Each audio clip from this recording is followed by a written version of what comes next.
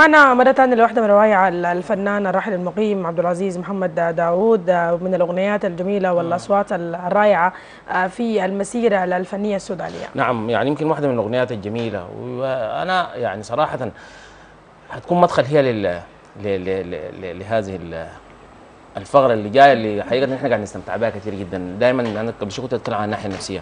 حنتكلم عن موضوع مهم. يعني بيقول آه، حاول يخفي شعوره ويدلل عليها. أنا داير أشوف بعدين في موضوعنا بتاع الشرود الذهني لما الحبيبة تخفي شعورها أو كده بيحصل تتدلل. الز- لا يحصل دلال حيحصل شرود. أنا برحب بك كثير جدا آه، دكتورة إسراء عز الدين شبيكة اختصاص علم النفس. صباح الخير. صباح الخير يا معتصم وصباح الخير لينا يسعد صباحكم وصباح الخير على كل ال- اللي بيشاهدونا وأنغام كانت جميلة وأبو داود يعني تغنى بكثير من الكلمات الجميلة نعم.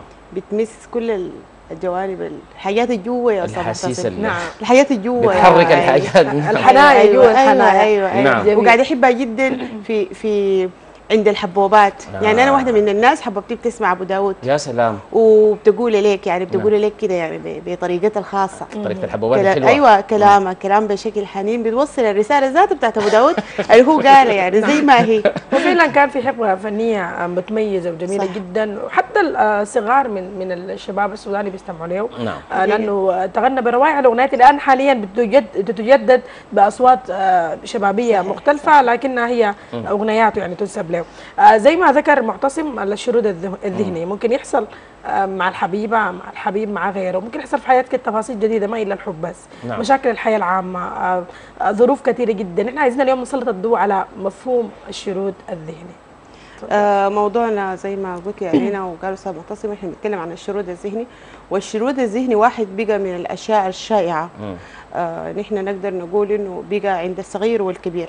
بصورة آه كبيرة جدا. هي عندها علاقة طبعا مباشرة بإيقاع الحياة نعم. وشكل الحياة ونمط الحياة. وبنلقاها مثلا في بعض المناطق أكثر من المناطق الغير مثلا في المدن أكثر من ال بتاثر بالبيئة يعني البيئه حقيقي. مؤثرة بتكون. هو عنده تأثيرات بيئية وفيزيولوجية واجتماعية وأسرية. حنجي حنتكلم على الأسباب حتكون هي جزئية منه. فالشريط الذهني هو من الحاجات المنتشرة جدا وتقريبا يعني هو طبعا فيه اتجاه طبيعي. اللي هو إنه عادي انك اسره مشغول بسيط بسيط. مشغول كثير تشرد لك الشرده كده صغيرة. آه. أيوه سر- شرده صغيرة كده يعني. دقيقة دقيقتين ما أكثر من كده. ده وضع طبيعي وأي زول ممكن تحصل له أثناء اليوم. لكن إحنا بنتكلم عن الحاجة ال abnormal أو الحاجة الغير طبيعية اللي هو الشرود المستمر. اللي بيخلق بعض المشكلات بالنسبة للشخص آه، ممكن عند ال- ال- الأطفال أو عند حتى الناس الكبار يأثر على المستوى الأكاديمي أو المستوى العملي أو الصحه النفسية. أو الحياة الأسرية إلى اخره يعني. نعم. طيب نحن عندنا في كمقدمين برامج يعني تشرد مشكلة. الحضور أيوه الحضور الذهني من الأشياء. الأساسية. يعني لا بيكون ذهنك حاضر.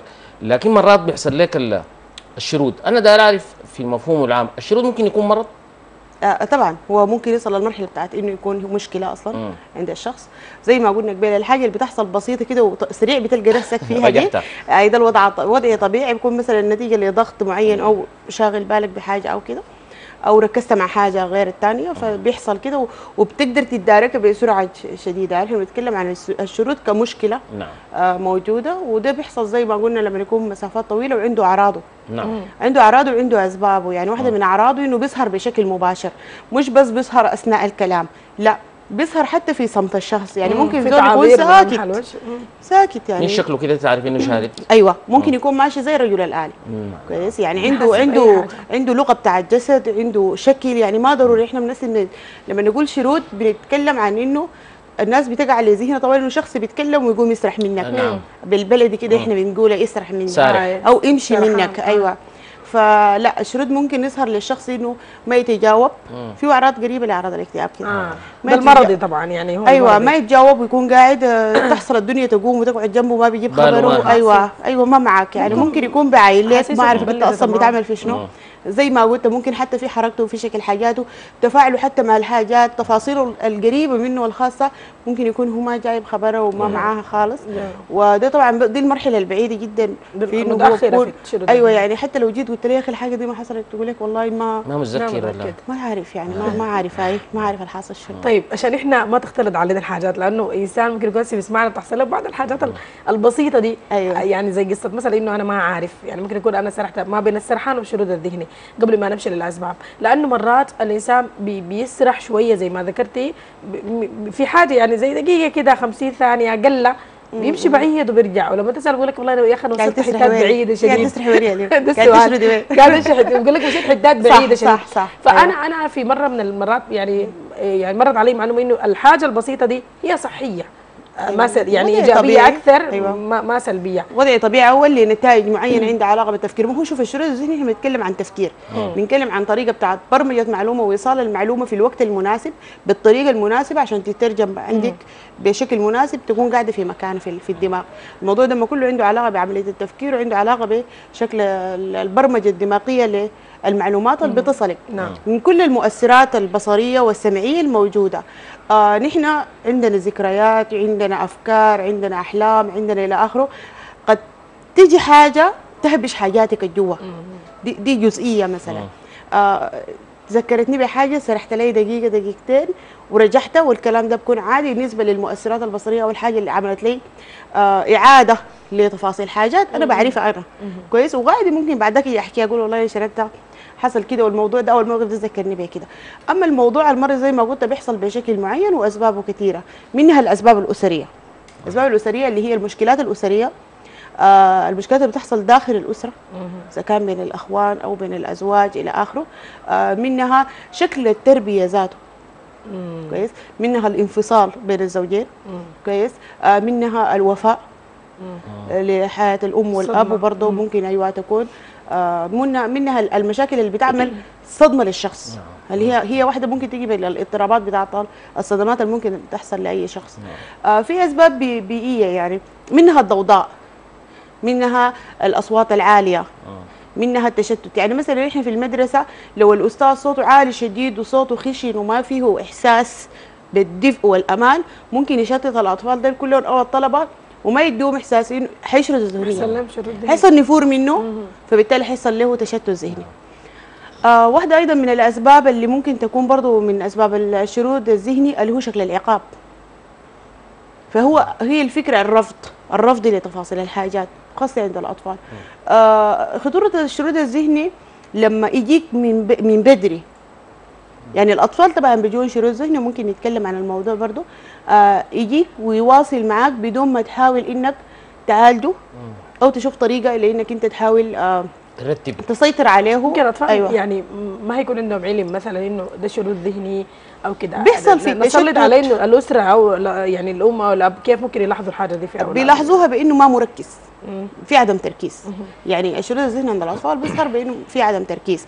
ماشي بيخبط حاجة قدامه قاعد للقراية بتلقيه يقعد بالساعات ما بيقدر يقرأ كويس آه، آه، درجاته وتحصيله الدراسي بتلقاه كويس. فيه مشكلة. أيوه رغم إنه هو مثلا ما عنده مشكلة واضحة في الحصة نفسه إذا تابعوه بي- بيلقوه إنه بيشرد آه، بنظره بي- بيبتعد بتفكيره بيكون ما مواكب ال- ال- هي الاستاذ دكتورة الآخر. الحاجة دي في المخ زي الذاكرة يعني في حاجات مرتبة فيها؟ يعني ممكن يحصل لها خلل يعني يعني يعني يكون عدم يعني ممكن يكون عدم ترتيب للأشياء داخل الذاكرة أو أيوة. حصل لها اهتزاز أو شيء لا هو مش عدم هو مش عدم آه، ترتيب لل... لا هو بيحصل نتيجة لشنو؟ مثلا واحدة من الأشياء اللي بتسبب ال- ال- ال- الشرود الذهني إنه أنا اكون فاتحة لي كم ملف أيوه يعني, عرفتها؟ يعني زي الذاكرة بتاعت التليفون أيوة. أيوة. لو فات يمكن تضرب أيوه فاتحة لي كم ملف يعني مثلا أنا قاعدة وشيق لجهازي وفي نفس الوقت متابعة لي موضوع هناك وفي نفس الوقت بتكلم بالتليفون فهمتني؟ بعد شوي لو جيت قلت لي أنا قلت لك شنو قبل. آه أنت. قلت شنو؟ أنا. أيوه أنا ما منتبهه لك. فإنه تفتح كذا ملف في تفاصيل حاجاتك اللي أنت بتعملها. ده بيعمل ضعف لعملية التركيز عند عند الشخص. أيضا واحدة من الأسباب برضو اللي بتخلي إنه يحصل تش... آه، يعني شرود أو بيحصل مشكلة تشتت. في في في التش... في في عملية التركيز آه إنه الشخص يكون مدعب أو مرهق. أو أو مر بتجربه مريرة كويس؟ أو زي ما قلنا قبل مر بتجربة بتاعت حب. في شيء شاغل باله يعني باختصار. الحاجات ال- الحاجات اللي بتشغل البال وبكون الشخص مركز معاها. عند أي أداء أنه معتصم مشغول بموضوع معين جيت من الصباح عايز تشتغل قويت نفسك في إنك أنت تقدم شغلك عندك موضوع كده. معين شاغل بالك وتعبك ومضايقك فانت مستحيل ما تكون حصل لك شردة شردتين. كده أثرت عليك. شغلتين شوية. أيوه. ف... أيضا من الأشياء اللي هي الحاجات اللي عندها علاقة بالاضطرابات ال- الجسدية اللي هي مشاكل الغدد. آه. مشاكل الغدد وخاصة الغدد الدرقية لأن هي مسؤولة بالنشاط في الجسم. فبرضه يعني دي واحدة من الحاجات إنه الشخص. لما يكون عنده شريط ذهني بمستوى عالي بيعملوا له بعض الفحوصات. المفترض إنه تطلع كلها نورمال بفهم تكون إنه حاجة عرضية مرضية يعني. احتمال يكون سببها عضوي. كويس؟ يعني هي بتظهر دي من الأمراض اللي ممكن تظهر في شكل بتاع السلوك لكن ممكن تكون أسبابها عضوية حتى عند الأطفال برضه ممكن الواحد لما يحس إنه آه الطفل ما مركز بشكل مبالغ فيه ومؤثر على ادائه الدراسي ممكن تعمل فحص للغده الدرقيه خاصة يعني. نعم. آه برضو في بعض الأمراض برضو بتسبب بعض الشرود اللي هي آه أمراض مختلفة يعني. فدي كلها أسباب إذا كانت اسباب عضوية إذا كانت أسباب اجتماعية إذا كانت أسباب. أسرية نفسية بيولوجية إلى آخره دي كلها أسباب ممكن تؤدي تؤدي إلى لل- الشرود لل- الذهني طيب من الحاجات اللي يمكن نحن في كرة القدم يعني مرات الهدف بيجي في الدقيقة الأولى بيقول لك في شرود في شرود ذهني يعني الناس يعني ما مستوعبة أو الواحد قبل ما الصدمة الكو-. نعم أيوة. نعم أيوة. دي, دي نتيجة دي بيتكلموا فيها. كثير جدا أيوه نتيجة للصدمة فبعد كده قدامك خيارين تخ... تس... تخاف من نتيجة المباراة اللي بدت بالهدف دي كويس. وده من البداية عملت والشوك اللي بيحصل ده يستمر معاك مم. كويس ويدخل حاجة كده جوا اللاعبين ويخلون مركزين في حتة تانية ما مركزين في, في أدائهم وفي. في. التد... في أيوه صح. في الخطة اللي هم عاملينها عشان يعني يقدموا يعدلوا. بيها أيوه. ويبدوا يعدلوا فيها سريع ويحصل حاجة زي دي صح. آه، أو يحصل الجزء الثاني اللي هو بيؤدي للنجاح في إنه انت خلاص اللي حصل حصل. فهنا مفترض أنا أفصل وما أركز في الحاجة دي أركز في اللعبة وأركز في متبقي الزمن نعم. وأركز في إنه الحاجة اللي ممكن تحقق لي النجاح. جميل آه طيب دكتور إسراء نتكلم عن تأثير ال- آه، الشرود الذهني على الصحة النفسية طبعا عنده تأثير كبير جدا وممكن يسبب كمان أشياء جانبية منها الاكتئاب. في حاله إنه طبعا الشرود بقى مشكلة كبيرة عند الشخص وأثر عليه في حياته في شغله. زي ما قال لك أستاذ معتصم. في بعض الأعمال بتتطلب الدقة منها صح. الأعمال اللي عندها علاقة بالحاجات الحسابية. يعني أنت ممكن تقدم تقرير وتقدم شغلك بطريقة خاطئة أو تك- يكون فيه كثير من الأخطاء. بالنسبة للحياة الدراسية طالب مم. جامعي أو أو طفل في مدرسة أو أي أي طالب في مستويات المستويات المختلفة التعليمية بيحتاج لعملية بتاعة تركيز كبيرة جدا. نعم. فبالتالي أي نوع من أنواع آه، مشاكل التركيز بيأثر على أدائه. فهو بيأثر على الأداء فبالتالي بيحصل إلى حد ما بنقول عليه فشل أو بعض المشكلات. فبالتالي بيأثر على الصحة النفسية عند ال- الفرد يعني. نعم. أنا من الحاجات المهمة يعني من خلال عملنا اللي بنتابعها مرات الواحد بيجيبوه ساكت آه، لحظة كده. يعني بيكون مشى لحتة ثانية أنا دايرك تتكلم لي شوية عن إنه ال- الناحية النفسية للشخص المعين. يعني إن كانت آه، مادية إن كانت آه، صحية إن كانت آه، أسرية. وتأثير الكبير على الشخص اللي اللي بيعمل في عمل حسابي أو إعلامي محتاج إنه الواحد يكون هادي نفسيا عشان يقدر لأنه المشاكل كثيرة والمصاعب كثيرة جدا. اي أي شخص بيتعرض لأي نوع من أنواع الضغوط سواء كانت ضغوط داخل بيئة العمل أو ضغوط داخل الأسرة أو ضغوط داخل يعني في في في الشارع كيف إنك تصل لحد الحتة ال- ال- الحياة اللي بتواجهك الضغوط اليومية اللي بتواجهك دي وضع طبيعي إنها بتأثر عليك. نعم. وإنت ممكن يكون عليها أصلا عندك بعض المشكلات فبالتالي بي- بيكون التأثير ساهم. زي ما بيقولوا كده. يعني قدرت تتمكن من من من من جواك ومن من الجوانب ال- ال- الحسية عندك.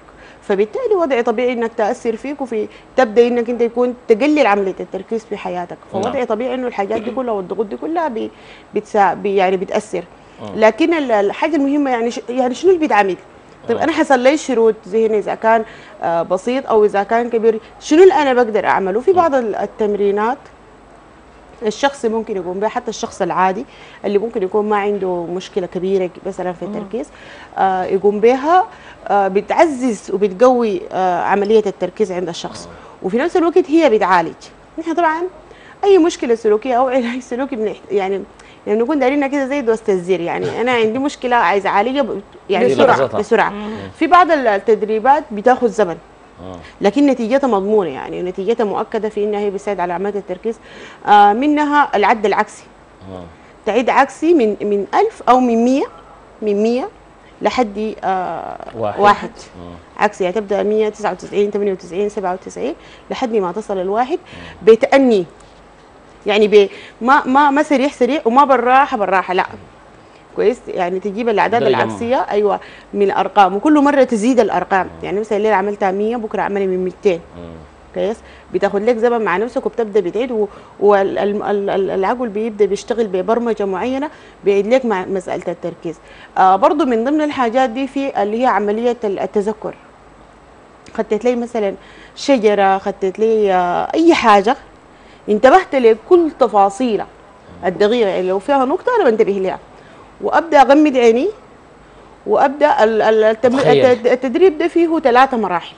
المرحلة الأولى إنه أنا بخط الحاجة قدامي ايا كان سين وببدأ بركز معاها وبغمض جفوني وببدأ بتذكر كل تفاصيلها لحد ما اخطها في صورتها النهائيه حسيت إن الصورة دي فيها حاجة ناقصة ببدأ تاني بعاين لها وببدا تاني بغمض عيوني ولحد. ما أنا أتخيل شكلها تماما بتفاصيلها المختلفة. وأنا مغمض بعد ذاك ال- ال- المرحلة الثالثة بعمل نفس العملية دي وأنا مفتح وأنا مفتح عيوني. ده التدريب الثاني. التدريب الثالث نفس التدريب ده بس عن طريق الرسم. إذا كان الشخص ممكن ما ضروري اجاده الرسم بالطريقة اللي يعني اللي تكون جرافية. أيوه لا.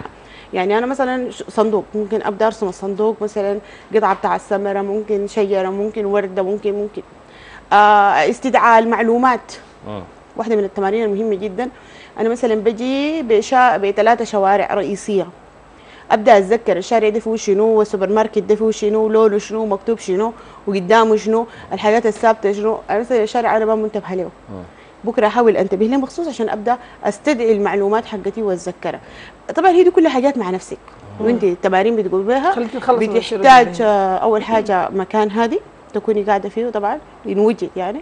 وبعيد عن أي ضوضاء بعيد عن أي أضواء. آه، الحاجة الثانية والمهمة إنه ال- التمارين بتقومي بها بأنفاس هادئة. حتى التمرين حتى برضه في تمرين اللي هو الأنفاس اللي هو لحد سبعة أو خمسة. بتشيلي شهيق وانت بتحسبي لحد سبعة. كمليه حتى تنزلي زفير وانت بتحسبي برضه لحد سبعة. اللي هو هيكون النفس طويل وبرضه طبعا بيساعد في الصوت والحاجات طبعا تمارين الصوت عايزة أعلم. أيوه. فهي بتديكي يعني يعني قدرة على التركيز. وانت كل فترة وفترة أو الشخص كل فترة وفترة بيقوم بعمليات يعود التمارين. دي. أيوه. وهي تمارين ممكن تكون يا سحر بنقول فيها بسيطة لكن فعليا أنت لما تبدأ تعملها. شوية متعبة في البداية لكن خلاص أنت بتتعود عليها. حياتك بتنشط العقل. الحاجات المهمة جدا اللي بتساعد في عمليه التركيز في الحياة اليومية إنه زي ما قلت لك تركز في الحاجة. يعني مثلا هسه إحنا بنتكلم تركز في كل تفاصيل ال- الكلام بس. لكن لو في شخص مثلا حيركز أنا لابسة شنو شكل حياتي شكلها شنو حيحصل له تشتت. عرفت فهو المفترض إنه آه أنت حتى لو في شخص بيتكلم معك تكون مركز مع كلامه. لو أنت مشغول بفكر عنه برضه منه آه. يعني بتكلم كنت معاك معاه وأنا من جواي آه. بتكلم عنك عرفتي؟ وبفكر فيك بعيدة تماما صح. أيوه. ودي بتحصل. في المشكلات الزوجية دائما إنه الزوجة أو الزوج آه، يعني الناس بتبدأ تتناقش وهو جواه ألف حاجة. فالناس لما تجي عشان هي تتكلم فالدنيا قاعد هو تجوط طبعا هاي ما هي. أو هي أو هو بصراحة؟ هي هي شريرة شوية. انت قلتي حاجة مهمة جدا هم بيقولوا لنا الزمن انتهى لكن قلتي حاجة نتمنى نتكلم فيها إنه التركيز في تفاصيل الشخص الآخر أيوة. ودي عند النساء طبعا أكثر والله؟ حقيقي حقيقي يعني يمكن. بترجعني للآية القرانيه اللي بتتحدث عن ال- الشهادة يعني لو واحدة نسيت الثانية تذكرها وأكيد الإنسان البن- البنسى دي المرأة يعني أكيد أيوة. الإنسان البنسى بيكون مفكر يعني هسه تكون لابسة شبشب لونة شنو يعني جزمه شنو لكن لما يكون معي ولد أنا صراحة هم معي اللي بدلتي لأنه المرأة بطبعها بتحت بتحت بتهتم بالتفاصيل. والإلى. ودي ودي جزء من شخصيتها دي حقيقة، لا هي. جزء مهم جدا في الشخصية ولو ما هي. بتهتم بالتفاصيل ما نعم. بتقدر تؤدي الحياة بطريقة بيرفكت. والتفاصيل هي ذاتها أهم شيء في الحياة يعني التفاصيل الصغيرة تفاصيل البيت تفاصيل الأولاد تفاصيل الزوجات تفاصيل. الحياة الشغل حتى ترتيب تو- الحياة. وضعها كده يعني نعم. حتى كل اللي ده بتقوم في وقت واحد يعني لو في أيوة. شروط هيحصل في الحياة بتجد بسبب الحاجات دي المرأة أكثر ضغوط أكتر. به أي نعم نعم. بسبب أيوة. الضغوط يعني انتهي لأنه شيء. للمرأة السودانية وكل انتهى. الكنداكات نعم. السودانية أنا عندي حاجة أخيرة بس برضو لأنه الزمن ال- ال- الشخص اللي بيش بيحصل له شرود ذهني هل بيكون عارف إنه فعلا حصل له شرود ذهني؟ ولا ما بيكون عارف؟ طبعا بيكون عارف طبعا بيكون عارف. لكن بيتين بحس بإنه هو بقى حاجة كده مبالغ فيها ممكن ياخد وقت. وهو طبعا بدي لنفسه الأعذار. بيقول لك يا أخي أنا ما مضغوط يا أخي آه. أنا والله مشاكل في البيت دي عذبتني المشاكل في الشغل دي. فبدي لنفسه يكون الأعذار. عارف هو لكن مهم جدا إنه أنت. وسط إنك أنت حتى عارف أسباب شرودك إنك تحاول تعالج الموضوع بالتمارين اللي إحنا تكلمنا عنها وببعض الفحوصات إذا كان حاسس إنه ممكن تكون برضه فيها مشكلة. بمقابلة أخصائي نفسي برضه إذا كان في إمكانية للحاجة دي. فلازم تحسن نفسك لأنه ممكن يستفحل الموضوع يعني. العقل بيشرد والقلب بيشرد آه، زي ما قال أبو داود. القلب ده صعب صراحة نتمنى عودة ال- عودة الإنسان من الشرود لأنه حقيقة الشرود مشكلة وأنا واحد من الناس حقيقة يعني يمكن بتمر بي لحظات. يعني مرات حتى داخل الشغل بتشرد تمشي لحتة وتجي تاني راجع يعني. سريع كده تلحق نفسك. قابل تلحق نفسك. نحن بنحييك كثير جدا دكتورة. الله يخليك يا محتسب. شكراً. الله تشرد في الحياة الجميلة. إن شاء الله. شكرا لك دكتورة اسراء عز الدين شبيكه اختصاص علم النفس على هذه المساحة الجميلة. شكرا لنا